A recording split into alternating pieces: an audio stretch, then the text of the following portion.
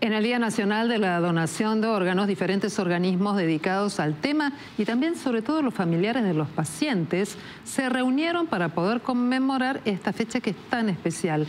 En la esquina de Chivilcoy y Nueva York, en la Plaza de Voto, hace siete años se plantó el árbol de la vida y hoy se descubrió allí una placa en homenaje a todos los donantes.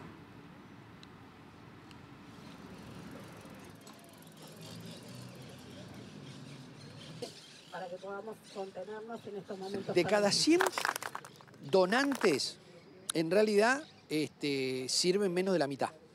Porque uno se declara como potencial donante, no lo hace por supuesto el fallecido, sino lo hace el médico o la médica que estaba a cargo, pero después hay un montón de procesos de infectológicos, de medidas, de grupo sanguíneo y demás.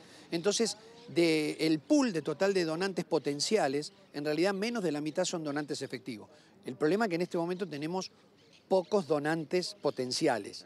Y eso es lo que queremos aumentar, ¿no? Significativamente.